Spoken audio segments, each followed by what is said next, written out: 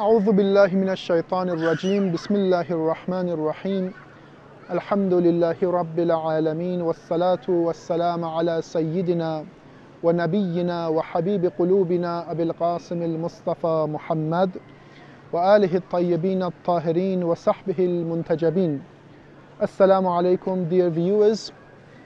Uh, in this program which is coming to you from the holy shrine of Imam Rida I am going to discuss one of the rules concerning the practice of prostration or lying prostrate uh, during the performance of salat.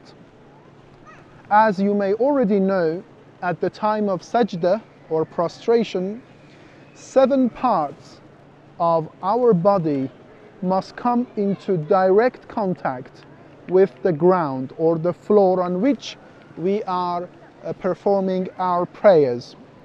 These are your forehead, the palms of your both hands, your knees, and the big toe of your feet. Now, while you are lying prostrate with these seven parts coming into contact with the ground and the floor on which you are praying, it is very essential for all of you to remember and know that while you are reciting the words for your prostration, Subhana Rabbiyal A'la wa bihamdih, or any other complementary and additional words that you may use during your prostration, it is very essential for you to remember that while you are mentioning those words, none of the seven parts that I mentioned earlier should be separated from the ground. The contact between these seven parts and the floor must remain while you are reciting those words. Now, if you, if it happens that you are reciting the words of your prostration, your sajda, and one of the seven parts of your body loses contact with the ground, uh, for example, you may be uh, itching your left feet with your right feet while you are in prostration. The right feet is separated, it has lost contact with the floor.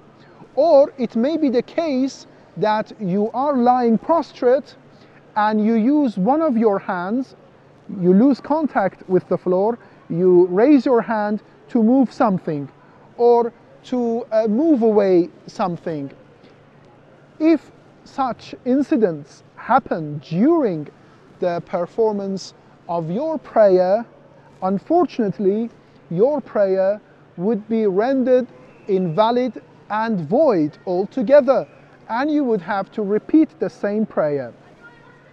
However, I must mention that while you are lying prostrate, if you need to move your hand or your one of your feet, if you want to do that, uh, that would be okay and it would not invalidate your prayer provided that you are not mentioning any words.